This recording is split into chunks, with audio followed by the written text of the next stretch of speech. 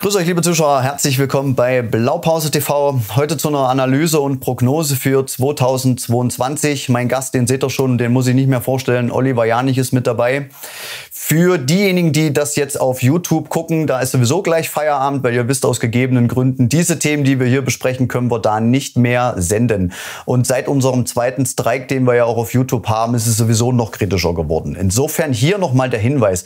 Hier oben eingeblendet, da ist unsere Homepage. Dort werdet ihr das Video finden. Ihr werdet es selbstverständlich bei Telegram in voller Länge bekommen und zwar in 720 Auflösungen und in 1080p Auflösung. Es wird bei Odyssey erscheinen und für den das immer noch nicht reicht, werden wir auch noch mal einen Google Drive Upload machen. Dort könnt ihr euch das ganze Video dann downloaden.